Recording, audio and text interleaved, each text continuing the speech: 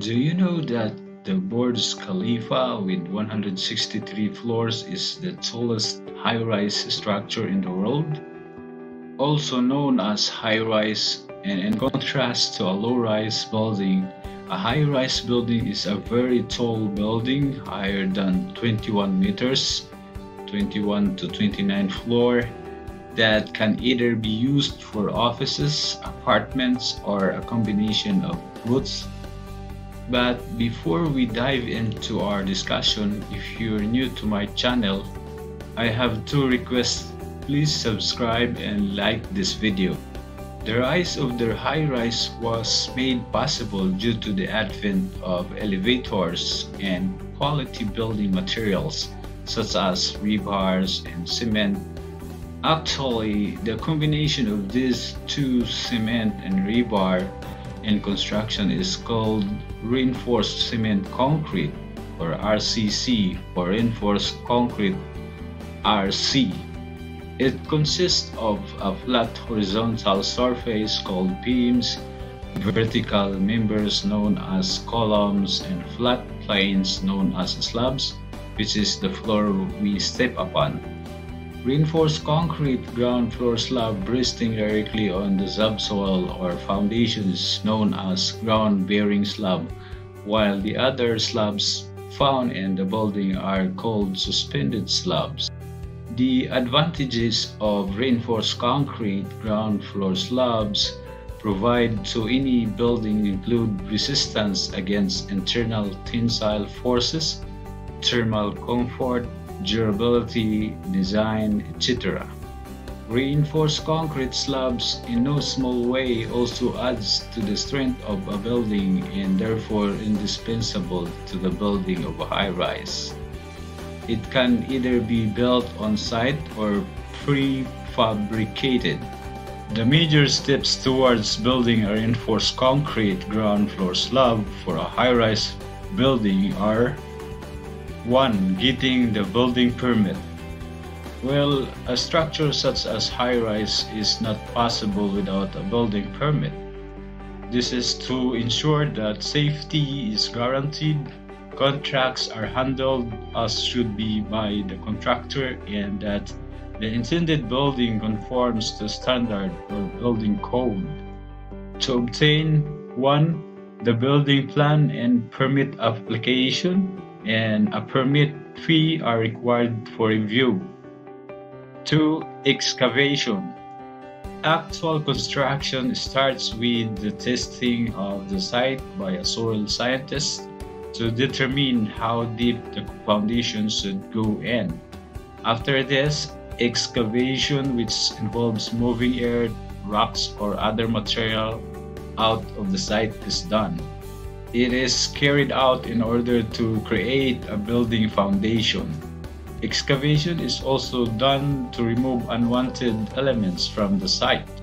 You should make sure that the method statement for the excavation is approved before work commences. 3. Completing the concrete columns below ground level. After excavating the ground and making foundations, reinforced concrete columns retaining walls and shear walls are erected which will act as a carrying channel for the structures above.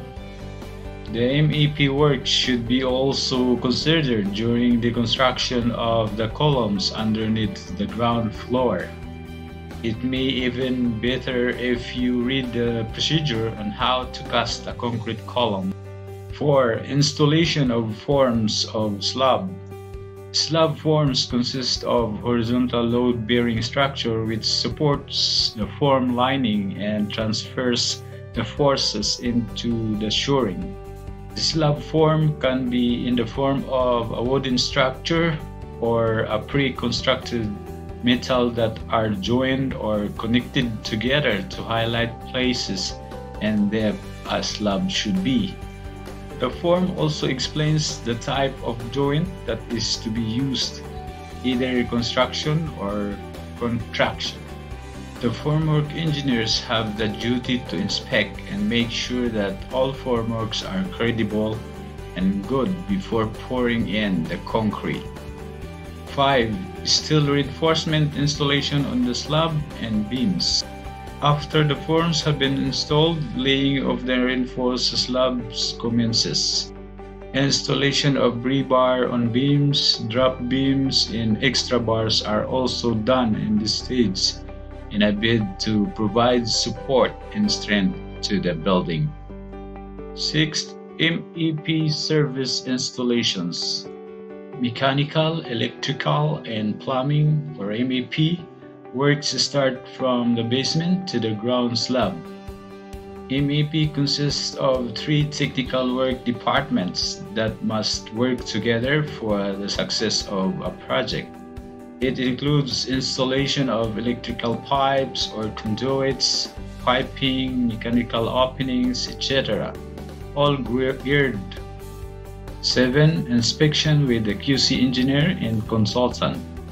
After the laying of steel reinforcement and MEP rough-ins, there would be an inspection by the engineers with a consultant to examine and confirm if the layouts are good and can carry the load that will be given it.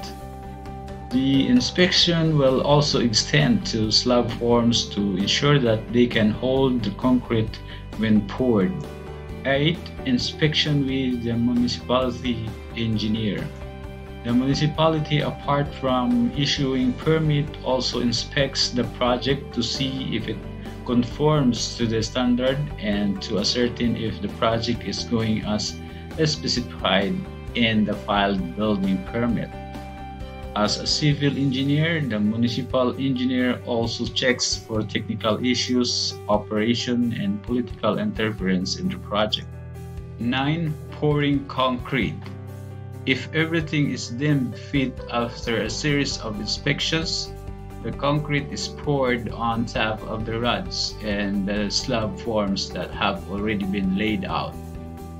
Usually, machines like cement mixers and dispensers are used to mix and pour the concrete to form a slab. You should make sure that concrete vibrators are available during concrete pouring. 10. Curing the slab. Curing a concrete helps delay drying shrinkage until the concrete is strong enough to resist shrinkage cracking. It also helps the slab retain moisture so as to make the concrete gain more strength. This is the key to achieving the design strength, durability, water tightness, and wear resistance. In fact, all the desirable properties of concrete are improved by proper curing. The minimum size of a reinforced concrete slab is restricted to four times the nominal size of aggregate. Furthermore, the thickness of a slab is affected by the location of the project, the type, and span of the slab. The reinforced concrete ground floor slab is indispensable to erecting any building not only because of the strength it adds to the building but also because of durability in design. An improper slab will lead to wreckage and havoc on the safety of humans. Slabs help in the resistance of loads like dead loads, live loads, dynamic loads, wind and earthquake load by transferring the forces to the ground or soil. If you have any suggestions in mind, please comment down in the comment box below. Don't forget to subscribe to our channel and please click the bell icon so that you'll get notified every time we post a new video. Thank you.